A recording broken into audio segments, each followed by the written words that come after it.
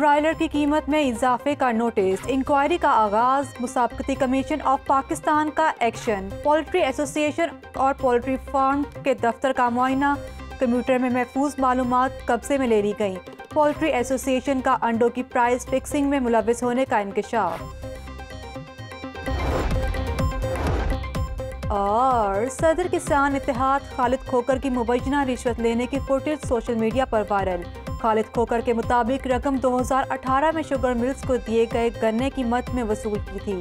चार हज़ार एकड़ पर गन्ना काश्त करता हूँ। वीडियो वायरल करना शुगर मिल्स एसोसिएशन की साजिश है। काश्तकारों की माशी कत्ल पर आवाज़ उठाना हमारा हक है।